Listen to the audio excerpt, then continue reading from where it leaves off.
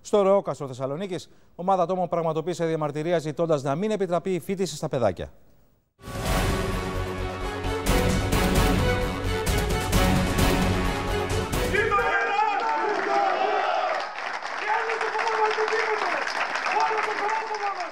Ρατσιστικό παραλήρημα στο προάβλιο του πρώτου δημοτικού σχολείου Ρεοκάστρου, όπου ακροδεξιοί έστησαν συνέλευση για να μην επιτρέψουν σε προσφυγόπουλα να φοιτήσουν στο σχολείο. Τώρα να σας μίλησα σαν ρατσιστής, δεν ξέρω. Το μιλάω με αγάπη προς τον τόπο μου, προς την πατρίδα μου και προς τον Χριστό. Και προς τον Χριστό, τίποτα άλλο. Εντάξει, ευχαριστώ πολύ σε μια προσφυγική πόλη όπως το Ρεόκαστρο, με ρητορική μίσου για τους πρόσφυγες έφτασαν στο σημείο να τους παραλληλίζουν με τους Τούρκους στη μικρασιατική καταστροφή που έριξαν τους προγόνους μας στη θάλασσα. Τους παππούδες μας τους ρίξαν στη θάλασσα.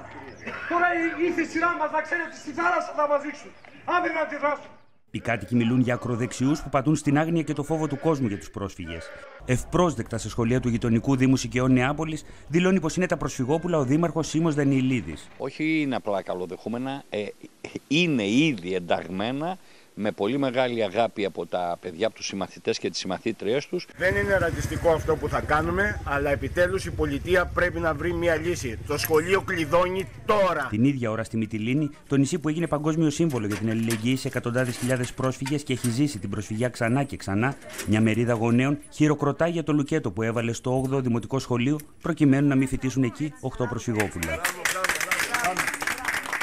Μιλάμε για θέμα υγιεινής. Τα παιδιά μας θα αρρωστήσουν θα πεθάνουν τα παιδιά μας. Τα προσφυγόπουλα είναι παιδιά που έχουν χάσει γονείς και αδέρφια και φιλοξενούνται στις εγκαταστάσεις του πρώην ΠΙΚΠΑ. Οι υπεύθυνοι της δομής διευκρινίζουν πως έχουν κάνει τους απαραίτητους εμβολιασμούς. Οι συνθήκες που φιλοξενούνται τα παιδιά είναι κάτι παραπάνω από ικανοποιητικές και οι αντιδράσεις είναι αδικαιολόγητες. Υπάρχουν τα ακραία στοιχεία τα οποία προσπαθούν ενспήροντα το δηλητήριο και το φόβο στην κοινωνία να την κάνουν να αντιδράσει και σε πολλές περιπτώσεις τα καταφέρνουν. Και αυτό είναι τελείως άδικο και για τους ανθρώπους αυτούς και για τα παιδάκια, τα μικρά παιδάκια που δεν τα αφήνουν να πάνε στα σχόλια αυτό το οποίο προσπαθούν να μας αποστερήσουν είναι η ανθρωπιά μας. Υπό το βάρος των αντιδράσεων, η πρόεδρος γονέων που συμμετείχε στη διαμαρτυρία υπέβαλε την παρέτησή της. Νιώθω ντροπή για τις εικόνες που κυκλοφόρησαν από το σχολείο μας, το οποίο φοιτούν ήδη δεκάδες παιδιά μεταναστών και στο σύνολό τους οι γονείς είναι άνθρωποι οικογενειάρχες και ανεκτικοί.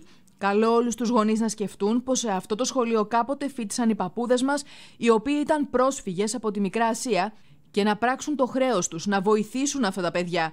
Θα είναι το καλύτερο μάθημα που θα πάρουν τα παιδιά μας από τα σχολεία. Για μειοψηφίες μίλησε ο Υπουργός Παιδείας Νίκος Φίλης. Πρόκειται για εξαιρετικά μειοψηφικές καταστάσεις που δεν ανταποκρίνονται στο γενικότερο αίσθημα αγάπης και αλληλεγγύης του ελληνικού λαού προς τους πρόσφυγες. Πάνω από 5.900 μετανάστες και πρόσφυγες βρίσκονται εγκλωβισμένοι στα δύο κέντρα υποδοχής της Μυτιλίνης, όπου η χωρητικότητά τους δεν ξεπερνάει τους 3.500 ανθρώπους.